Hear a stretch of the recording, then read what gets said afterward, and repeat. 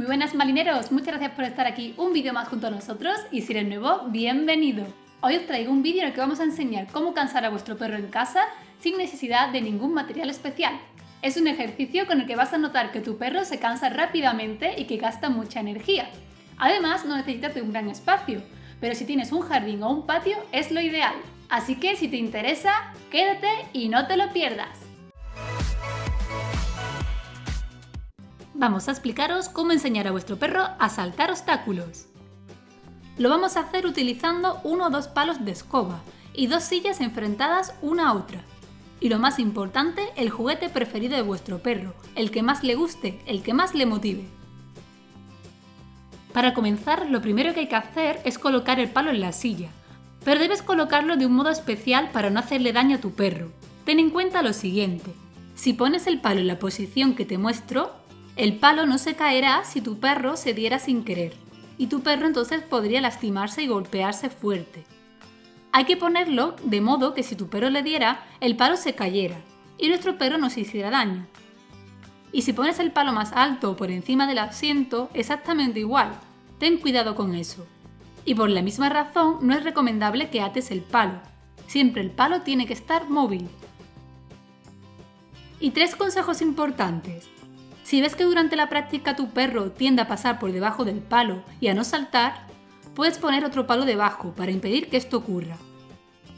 Si tu perro hiciera un rodeo, lo ideal es que pongas la silla en una esquina para impedir que esto ocurra y que así tu perro tenga que pasar sí o sí y saltar para conseguir su juguete.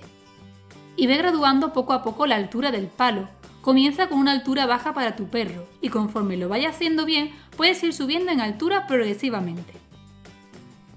Y los pasos a seguir serían, primero, motiva a tu perro con el juguete para que lo siga y lánzalo por encima del palo para que tu perro salte. Si lo hace, felicítalo y dile muy bien. El premio aquí será su juguete. Esto debes repetirlo en múltiples ocasiones para que tu perro consiga saltar sin problemas. Segundo, una vez que tu perro siga el juguete saltando, es momento de hacer lo mismo pero sin lanzar el juguete. Haremos como que lo lanzamos para que el perro salte y entonces le daremos su premio, le lanzaremos su juguete. Aquí puedes introducir el comando que tú quieras, como por ejemplo la palabra salta, arriba, lo que quieras, para asociar una palabra a la conducta que queremos que realice. Esto nuevamente tienes que repetirlo muchas veces hasta que tu perro salte sin problemas, sin necesidad de que tires el juguete previamente.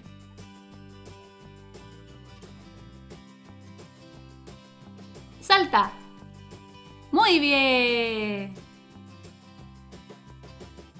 Tercero y último paso, lo ideal para que nuestro perro no dependa del juguete es que hagas lo mismo pero sin que tu perro vea previamente el juguete. El juguete solo aparecerá como su premio cuando salte y lo haya hecho bien. Y genial, le habrás enseñado a tu perro una nueva habilidad. Y como puedes ver, Takeo quedó reventado de tanto saltar. Así que te animo mucho a que lo pruebes con tu perro. Estos serían los pasos a seguir para enseñarle a tu perro esta nueva habilidad y para cansarlo desde casa. Si te ha gustado este vídeo no te olvides de darle a like y comenta si tienes alguna duda y comentario. Y si no estás suscrito, te animo a que te suscribas en este botoncito rojo de suscribirse para que puedas aprender mucho más junto a nosotros. Y antes de despedirnos, hoy saludamos a nuestros queridos seguidores, a Mario, Diego y Bailey, a Alessandro y Kendra, a Andrea y África, y a José y a Emilia. Y nos vemos en el próximo vídeo. ¡Hasta la próxima!